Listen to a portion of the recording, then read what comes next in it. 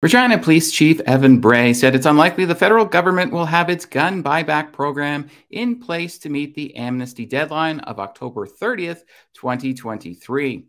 Bray said, I was just informed on a call the other day that it's 2,000 styles of firearms that are going to be included in this ban.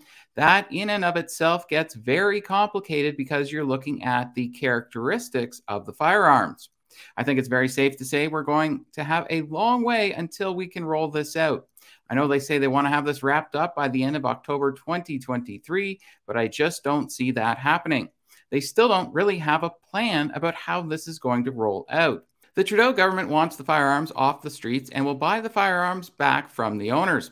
The purpose of the amnesty period is to give individuals and businesses time to comply with the newly prohibited firearms and shield them from criminal liability. Bray chairs the Canadian Association of Chiefs of Police Firearms Committee and said there are too many questions and not enough answers from the federal government to enforce the new firearms ban. Read the full story at westernstandard.news. You can become a Western Standard member for just $10 a month or $99 a year for unlimited access. Alberta Prosperity Project is dedicated to protecting Alberta's world class energy sector and has invited Alex Epstein, American author of the best selling new book, Fossil Future, to speak on the importance of fossil fuels and the vital role they play in our economy.